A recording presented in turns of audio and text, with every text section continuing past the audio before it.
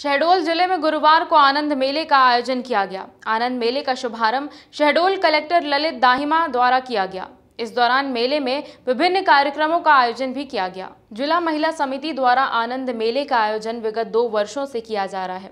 मेले में महिला समिति की सदस्यों द्वारा विभिन्न प्रकार के व्यंजनों के अलग अलग स्टॉल लगाए गए हैं। वहीं बच्चों की बनाई गई चित्रकला, मेहंदी, रंगोली आदि विभिन्न सांस्कृतिक गतिविधियाँ एवं कलाओं का प्रदर्शन भी किया गया। साथ ही मेले में छात्र छात्राओं द्वारा आकर्षक नृत्य भी प्रस्तुत किया गया। इस दौरान कलेक्टर ललित दाहिमा ने जिला महिला समिति द्वारा बनाए जाने वाले अतिरिक्त भवन का शिलान्यास भी किया। जेएसआर टाइम्स के लिए शहडोल से पंकज राव की रिपोर्ट।